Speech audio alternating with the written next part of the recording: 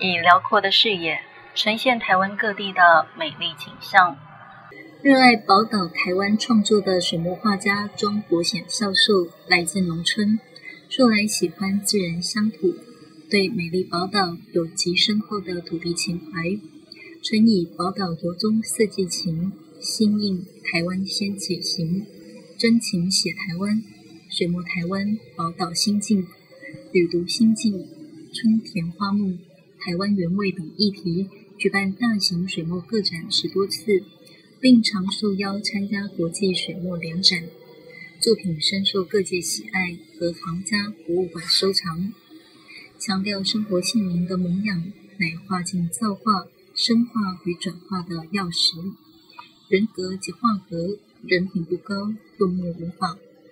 因此，读万卷书，行万里路，是一生创作的课题。中国显以学养土地、生活、情感为创作的核心价值，追求浑厚华滋、质朴精丽及墨彩并发的作品风格，强力体现台湾宝岛古朴风土民情及人文社会情愫。